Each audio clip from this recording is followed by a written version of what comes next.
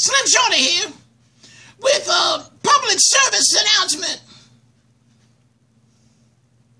I know it's 2015 now. There's a lot of things people do that I don't agree with. But that's just me, Slim Shorty style, you see? Like this, I'm gonna ask you guys a personal question. Do y'all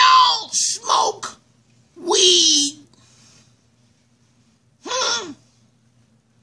Yeah.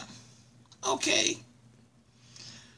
Well, if you're not sick, weed ain't no good for you. Dandelion, you know, where money men come from. You know, people blow those seeds and they think they're like getting money, but those are dandelion seeds. And of course, marijuana. Yeah, that kind of weed. Rick James sang about it in one of his hit songs called Mary Jane. I'm in love with Mary Jane. Yeah, that thing. He was talking about marijuana.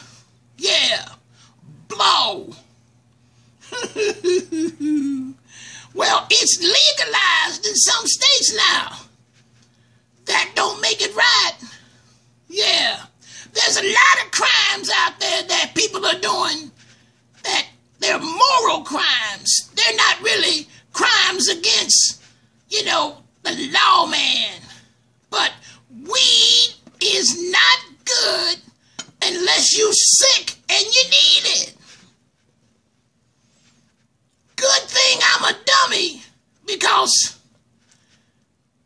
wow, I forgot what I was talking about.